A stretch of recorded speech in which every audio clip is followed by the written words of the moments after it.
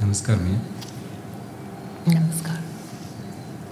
Maiyaa, as a spiritual seeker, how does one look at the event where uh, Jesus was uh, put on the, the cross?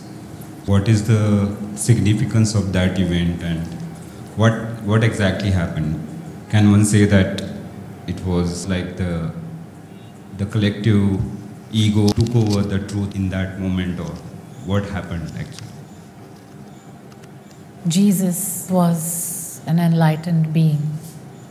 And in that sense, he, he was not entirely in touch with his body. The body did not have the same meaning for him as it did for other people. So, enlightened beings generally are enlightened because they are in samadhi states. They go into states where there is a dissolution of the identity, where they don't connect with the body as much as others do. And as they go further and further into these samadhi states, into cosmic states, their connect with the corporeal and terrestrial part of their being becomes less and less. When they do re enter into the body, when they become more aware, there's still always a sort of a disconnect with the body, and also partially a disconnect with every everyone's intentions around. To them, the world appears different. They do not see the, the falsehood. They basically are in touch with the truth and less with the falsehood in existence around. So, with him, in his case, he did not actually connect with that possibility. Although he knew he would be, you know, betrayed, he did not connect with the possibility really of what would actually happen and how much suffering was actually involved. Which is also why, when he was on the cross, he looked up and he was said to have uttered, Why have you forsaken me, Lord? He said to God, his Father, Why have you forsaken me? Because he did feel forsaken in that moment because the pain was so extreme. What that stands for in collective terms, that entire incident of the crucifixion and the actual being on that cross, is that when there are beings of true enlightenment and true knowledge that appear, they are almost always collectively under attack.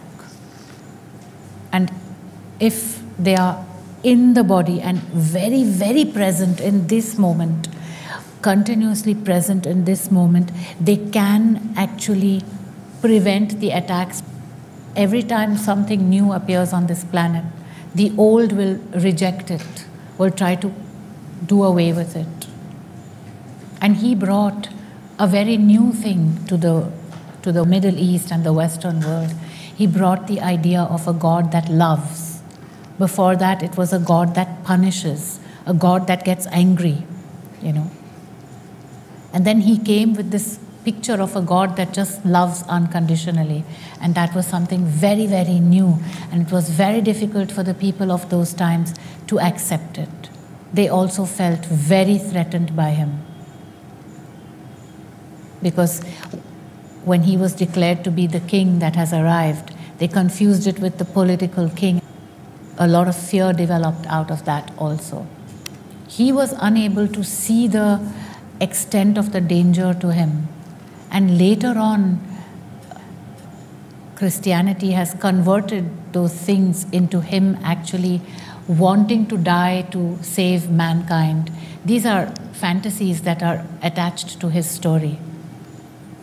Because if he had wanted that, then he wouldn't have said, Why have you forsaken me? He was an enlightened being who did not realize how corrupt and how much falsehood he is surrounded by. And when he realized it, it was too late.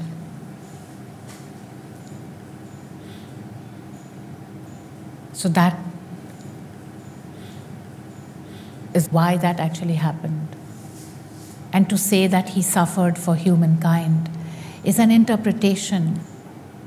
It's turning a very ugly thing in the history of his life as well as in the history of the world into something positive, which it isn't.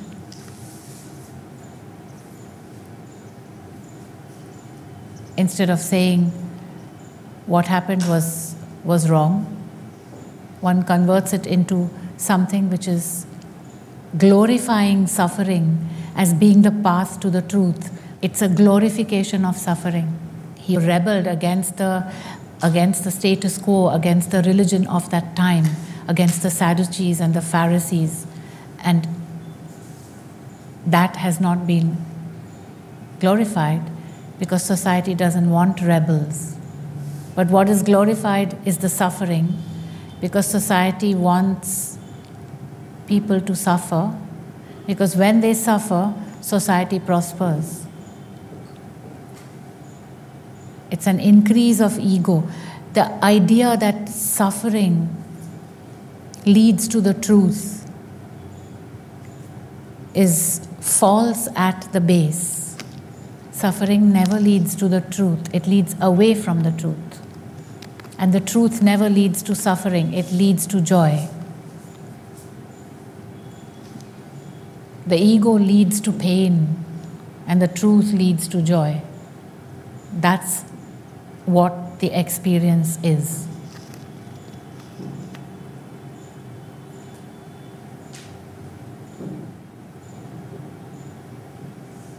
And if one asks the question, in that case, why did Jesus suffer on the cross then? The answer to that question is that it was ego that caused that suffering. How ego in an enlightened being? An enlightened being is, in fact, not completely in touch with the here and the now of the body. So, when that enlightened being is in samadhi states, what keeps the body alive is the ego. So, it takes a larger hold of the system than if you are present in the here and the now, really focused in this present moment, aware and alert of what's going on around. So, that is why that pain then comes. Because wherever the ego is at work, pain will result.